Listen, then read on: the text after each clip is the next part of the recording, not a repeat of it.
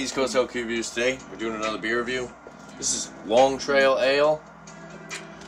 Um, inside of the bottle it says Long Trail Ale, named for the famed footpath. This classic amber ale features caramel malt flavors and clean complexity that me uh, meanders across the palate like a well-traveled trail.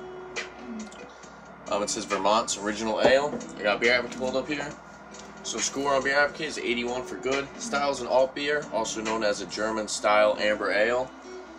Um, from Long Trail Brewing Co. out of Vermont, United States. Availability is year round.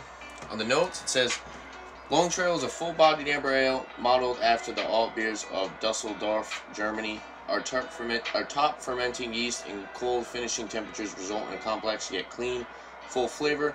Originally introduced in November of 1989, Long Trail beer quickly became and remains the largest selling craft brew in Vermont.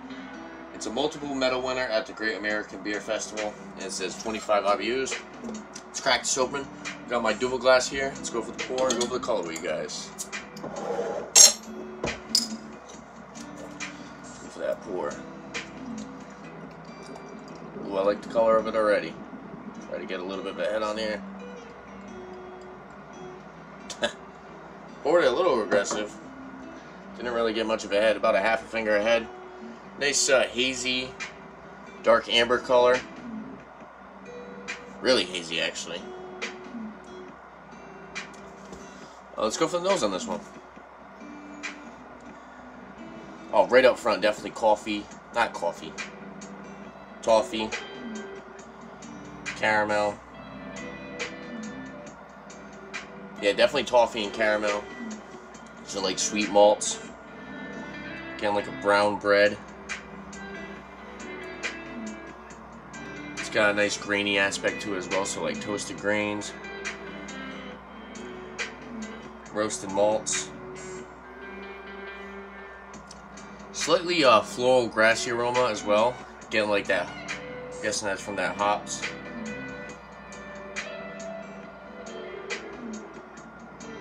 Smells pretty good, yeah, for the most part. It's just like very sweet. And then you get like those toasted grains, roasted malts. Um, I said, brown bread. A little bit of a floral, grassy aroma. Smells pretty good. Let's go for the taste on this one.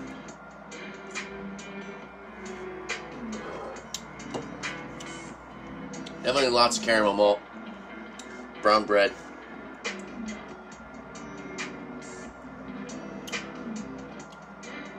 Toasted grains, roasted malts.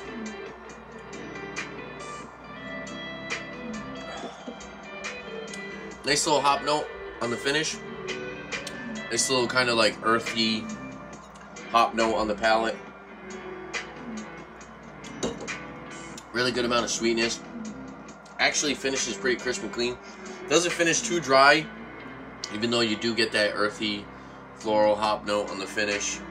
Um, yeah, it's pretty good. Um, there's nothing really amazing about it, but it is really good in my opinion. I like the uh, the brown bread. Um, it's actually really bready. Super crisp and clean. Goes down smooth. About, I'd say light to medium mouthfeel. Medium carbonation. Cyclops scale. I'd say like two and a half out of five sugar cubes because it's got some good sweetness with that caramel malt. and about two and a half out of, out of five hop cones because you do get a nice little hoppy uh, bitterness on the finish. Definitely nothing overwhelming, nothing too hoppy. It's a really good beer. Um, like I said, I like the amount of sweetness. I like the good amount of like the bready note I'm getting.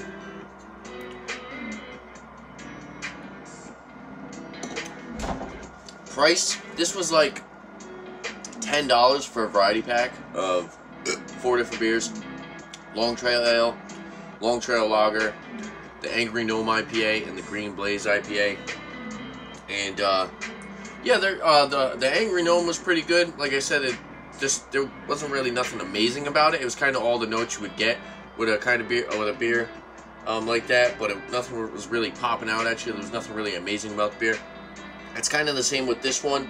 It has all those really good uh, flavors that you would get with an amber ale, Um, it's just there's nothing really mind blowing about it. It is really drinkable in my opinion. I think that, that these could go down pretty easily.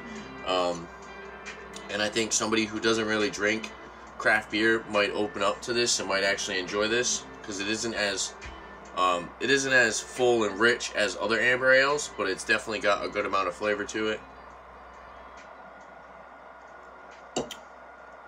So for rating, I'm gonna give this one a I'm say eight and a half out of ten. With that being said, um, the price on that variety pack was great. I'm not really too sure what a six pack price is. Um, but if you see that variety pack for that price, I don't know if that was just a deal that was going on in my area, $10 for a 12 pack, um, which it probably was. Um, even if you could pick it up as a single, I would recommend trying it out yourself if you guys like amber ales. Um, if you guys like, uh, maybe like uh, Yuengling, even though that's a lager, um, you probably enjoy this as well because it kind of has those same flavors that you would get with like a Yuengling. Maybe even like if you like Boston Ale by Samuel Adams. Or uh, maybe Fat Tire. Pretty sure Fat Tire is Amber Ale. If you guys like Fat Tire, you might like this as well. And uh, yeah, there you have it. Is there anything else that you guys like to see on my channel, leave a comment down below. And don't forget to like and subscribe to my videos. Like beer. Thanks for watching, guys. Cheers.